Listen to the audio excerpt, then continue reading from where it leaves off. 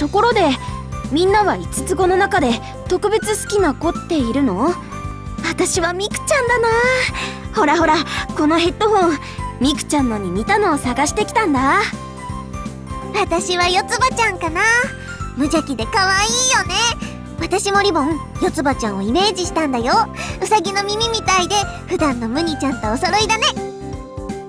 私は五木さんが好きですわまっすぐなところに好感が持てます。迷うけどやっぱりいちかちゃんかしら。一番大人っぽいけどたまに見せる可愛いところがギャップがあっていいのよね。あんたたちニノの魅力がわからないの？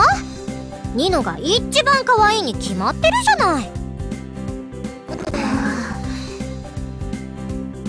あらら見事に分かれちゃったね。えー、四つ葉ちゃんが一番だよ。いいえニノよ。譲るつもりはないわ。ああの譲るとかそういうものではないのでは？みんなそれぞれ可愛いよ。あんたは見境なしじゃない。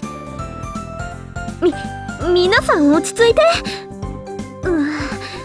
うんなんだか雲行きが怪しくなってきましたねそうね。楽しいイベントになりそうだわ。